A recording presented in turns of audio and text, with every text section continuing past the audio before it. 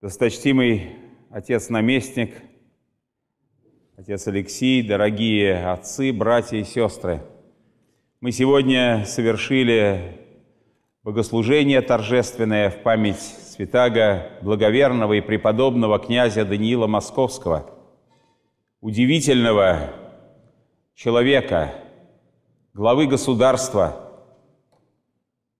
имевшего большую власть,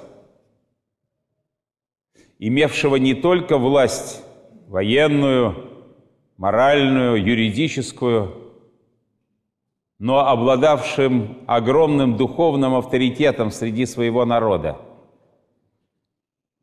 Именно этой духовной жизнью, силой духовного прозрения можно и объяснить то, как благоверный князь предвидел – историческое развитие всей Руси, предвидел возвышение ничем неприметного в то времени града Москвы. Именно он начал здесь строительство монастырей, укрепление града, как бы приуготовляя его к приятию из рук ветхого Киева – державы всея Руси. И мы знаем, что особое духовное состояние, возвышенное, святое этой удивительной личности наложило отпечаток и наград Москву. В нем стали создаваться многие обители – Сюда стали стекаться святыни, и не случайно, что формальное преобразование Москвы в столицу всея Руси произошло именно так же по церковным причинам, когда митрополит Петр Киевский всея Руси, находившийся в изгнании по причине оккупации татарами древнего Киева, временное свое пребывание в граде Владимире сменил на постоянное пребывание в граде Москве, заложив кафедральный собор с Успения Пресвятые Богородицы, собор всея Руси. Может быть, если не духовный подвиг святаго князя Даниила, сочетавшего в себе правителя и монаха, если бы не его пронзительный взор в будущее,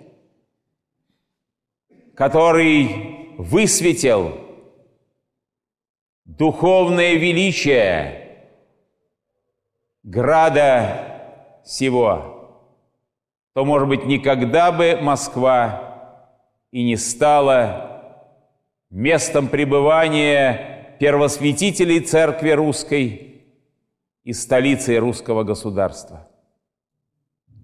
Мы вспоминаем сегодня память святаго благоверного и преподобного князя еще и потому, что обитель сия, место его упокоения,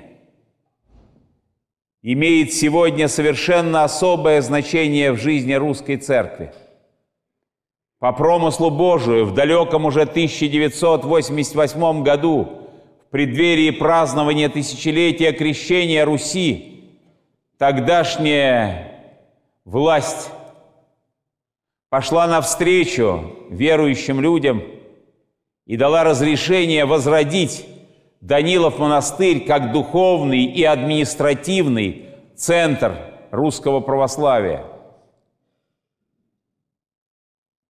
Так оно и случилось.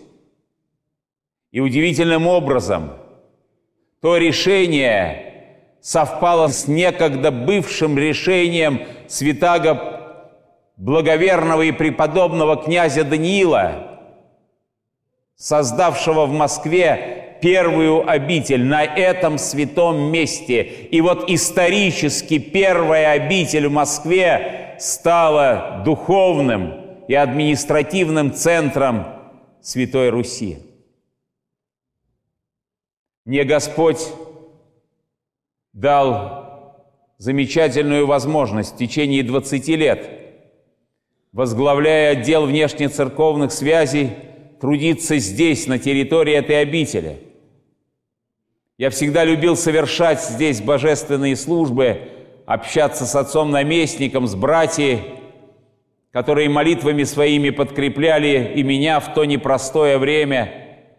А ныне, когда основная патриаршая и синодальная резиденция перемещена в Данилов монастырь, и когда адрес Даниловского монастыря стал адресом всей русской православной церкви, я особо уповаю на предстательство святаго благоверного и преподобного князя Даниила, у мощей которых отныне проходит служение патриарха, священного синода, очень важных подразделений нашей церкви.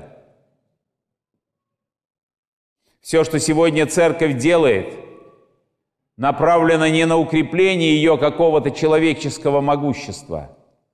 Таковым могуществом она никогда не располагала. Все то, что делает сегодня церковь, направлено на спасение душ человеческих потому что это и есть основное и единственное служение церкви. И вот в сегодняшнем Евангелии от Марка повествуется о том, как Спаситель пришел в дом Леви Алфея, мытаря. Он проходил мимо того места, где мытарь, то есть сборщик податей, собирал дань со своего народа пользу иностранных оккупантов, римлян, ненавидимых всем народом. Это ненависть к иноземцам в первую очередь распространялась на тех, кто служил их власти, кто содействовал порабощению народа. А потому люди, бросая в ящик для подати свои деньги – ненавидели тех, кто был рядом с этим ящиком, усматривая в них врагов и народа, и государства, порабощенного римлянами. Господь совершил что-то из ряда вон выходящее. Люди относились к мытарям как к прокаженным, боялись духовно заразиться, боялись компрометировать себя – потерять свое честное имя. А Господь подходит к этому несчастному Левию и в этот же вечер оказывается у него в доме и ужинает вместе с мытарями и грешниками. Если перенести эту картину, эту ситуацию в современную жизнь, то абсолютное большинство тех, кто сегодня стоит в храме, людей благочестивых, верующих, ничего подобного не смогли бы понять. Ведь мы с такой легкостью делим людей на друзей и на врагов. А если уж появляется враг, то часто ненавидим его так, как только можем ненавидеть. Ведь точно так же к мытарям относились и тогда, во времена Спасителя. А он пошел и вместе с ними вкушал пищу. И когда блюстители порядка, правил, закона, присутствовавшие фарисеи, конечно, не за столом, они не могли быть за одной трапезой с мытарями и грешниками, они, видимо, издали из окна или через окно наблюдали за этой страшной сценой, когда стали возмущаться, то ответ Спасителя был такой ясный, такой человеческий, такой понятный. Нездоровые, а больные имеют нужду во враче. Сказал и как бы отсек всю человеческую слабость, все предрассудки, и одним словом выявил Божью правду. Во враче нуждается больной. И далее. Я пришел для того, чтобы не праведников спасать, а грешных приводить к покаянию. Если мы последователи Господа и Спасителя, то должны помнить эти слова. Не прикасаясь к греху, не заражаясь грехом, не оправдывая грех, лицемерными заявлениями или лжепрощениями, мы должны отделять грех от грешника – и грешнику никогда не терять своего внимания.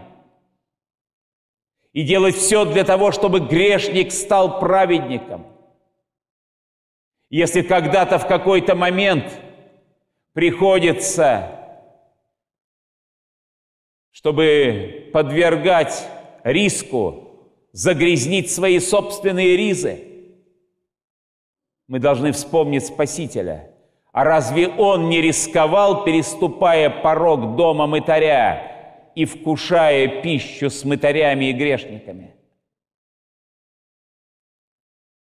Миссия церкви в мире направлена на тех, кто имеет нужду во враче. Мы живем в то время, когда больш, большая часть общества больна, не сознавая этой болезни. Эта болезнь иногда проявляется в безбожии, в агрессии, в распространении зла и клеветы на церковь. Каков же должен быть наш ответ? Мы не должны ни словом, ни делом, ни жестом, ни взглядом, ни намеком, ни полунамеком. Не создать впечатление, что мы поддерживаем грех – или поддерживаем кощунство. Мы должны твердо стоять на правде Божией. И одновременно помнить, что даже самый согрешивший человек достоин того, чтобы бороться за спасение его собственной души, не идя ни на какие компромиссы с дьяволом и с грехом, но твердо отстаивая – ту великую истину и правду, которую Бог вручил нам через святых своих апостолов. Мы сталкиваемся с подобного рода случаями повседневно, в наших семьях, где есть люди неверующие, склонные к хуле, к клевете, на церковь, на Бога, Иногда это бывают наши мужья или жены, иногда дети, а иногда родители. Отстаивая Божью правду, давайте помнить слова Спасителя. Нездоровые, но больные имеют нужду во враче. Я пришел не праведников спасти, но грешников. И следуя этому Слову Спасителя, мы будем способны силой Его благодати при участии наших скромных сил преобразовать мир. А другой задачи у нас и нет. Перед нами не стоит мелких, сиюминутных задач, которые часто захватывают воображение людей, которым кажется, что именно решение этих задач и откроет некую перспективу счастливой жизни в будущем, мы знаем, что так не бывает. Что перспективу счастья открывает человеку спасение души. Именно этому самому главному делу, последствия которого не ограничиваются земной человеческой жизнью, но переходят в вечность. Мы смиренно служим, продолжая дело с Христа Спасителя, святых апостолов, Богом прославленных мужей, среди которых святой благоверный и преподобный князь Даниил Московский. Аминь.